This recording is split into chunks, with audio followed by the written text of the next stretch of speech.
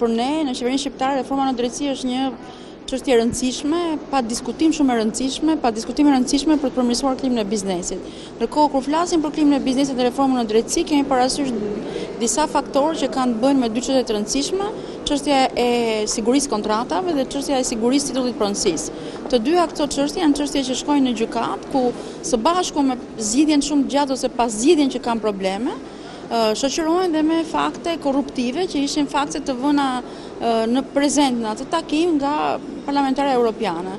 Unë sigurova që nga ana e qeverisë shqiptare ne jemi të tërë të angazhuar që kjo reformë të shkojë në fund, sepse pa dyshim që jep një nxitje të re klimës biznesit dhe siguron bërjen e një aktiviteti privat në një formë më të qetë dhe më të qëndrueshme.